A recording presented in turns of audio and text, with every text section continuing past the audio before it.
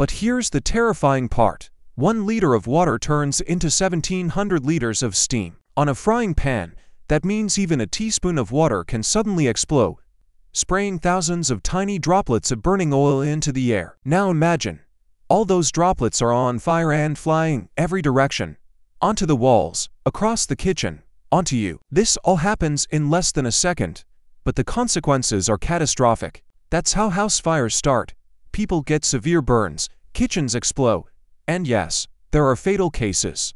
This phenomenon has an official name, flash fire or fuel spray explosion. Scientists have studied it in labs and concluded, water in contact with overheated oil acts not as an extinguisher, but as a catalyst for spreading fire. It's caused by something known as a phase explosion, when a liquid in this case, water instantly turns into gas steam, releasing a massive volume and energy. In real-life conditions, it looks like a fireball explosion up to 2 meters high.